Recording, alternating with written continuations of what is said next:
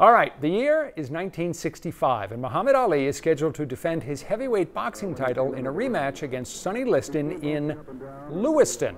It's an unlikely venue for such a world class sporting event.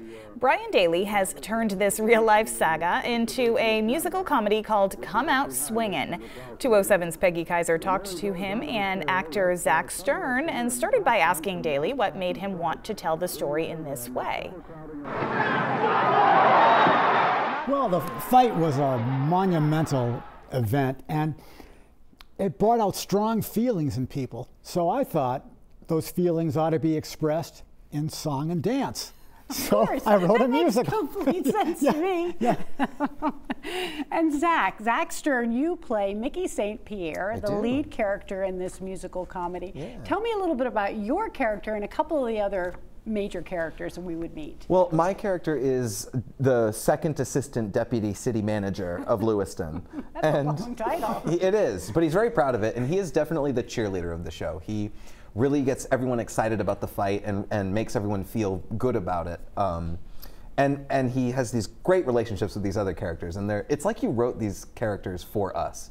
Because they're all, it's so well cast. There's Rita, who's in the cafe, who's sassy and, and just ridiculously funny. There's Preston Taylor, who's just extremely suave. It's, it's just a lot of fun.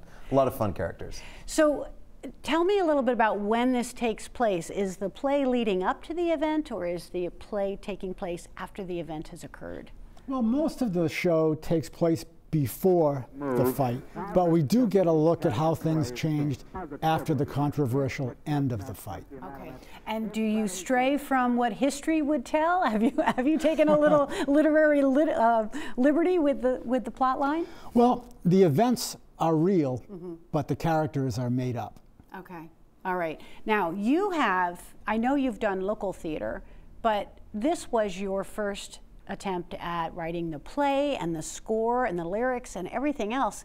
That sounds like an enormous undertaking to me. Yeah, it took a while. Yeah, yeah. I thought I would just write the book and the lyrics. But along with the words came rhythms. Yeah. And then with the rhythms came melodies. And by Godfrey, I was writing songs. So searching, I keep so searching. And then uh, Hans Indigo Spencer helped me get the songs down on paper as sheet music. And Mike McClure made the orchestrations for the show. Unbelievable. So it's been a labor of love and it's taken you a while to get this from square one to stage. Is that right? Yes, it has.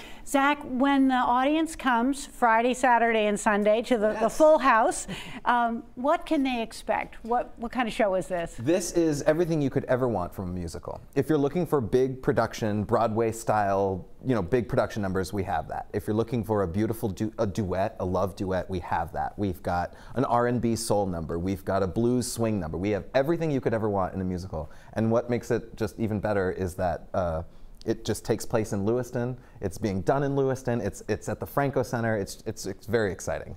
And as he said, Come Out Swinging will make its debut at the Gendron Franco Center in Lewiston. Shows Friday, Saturday, and Sunday. And you'll find more information about the show on our website and mobile app.